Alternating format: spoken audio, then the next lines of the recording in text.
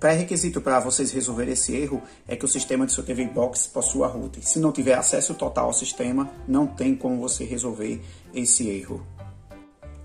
Vão necessitar do Ace File Explorer ou de um outro gerenciador de root. Eu uso o Ace File Explorer, a versão free.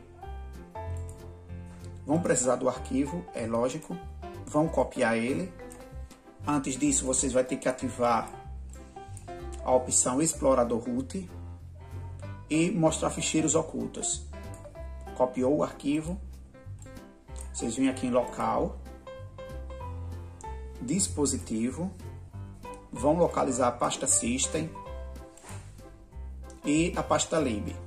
Clicou sobre ela, vem em propriedades, vem aqui em mais, quer dizer, propriedades e vamos em permissões, colocar alterar. Vamos marcar todas elas gravar, ler, executar. Se tiver desmarcado, marque. Depois você clica voltar. Abriu ela. Vocês vêm novamente aqui, ó, localizar, explorador root. Clique sobre explorador root. Vocês vêm aqui em montar RW. Dê permissão também, todas as permissões. Tem gente que vai dizer, mas você não já deu permissões antes na pasta?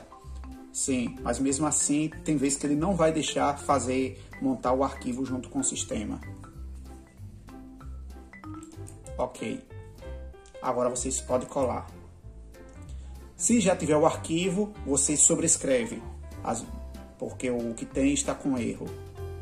O que vem no sistema. E se não tiver, é só colar.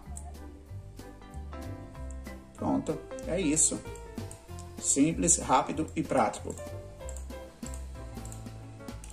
Copiou o arquivo, deu permissões de root, localizou a pasta, deu permissões novamente e substituiu.